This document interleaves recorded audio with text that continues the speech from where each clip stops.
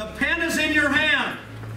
The pen is in your hand how you want to write the last chapter of 2017. You have control of that pen of how you want that book to end. Because if you go back chapter by chapter, it's a pretty neat book, isn't it? It started with Noah Rober punting inside the 10.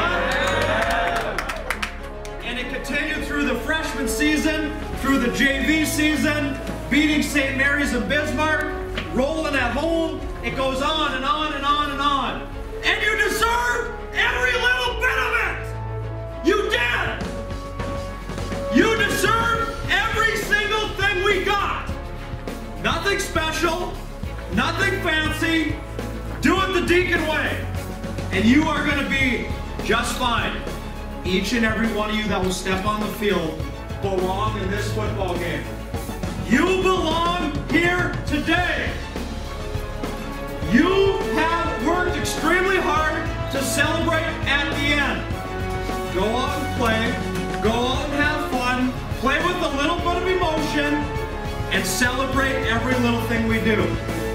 Go out and execute. Enjoy it. Play hard, play fast, play as one. Let's go.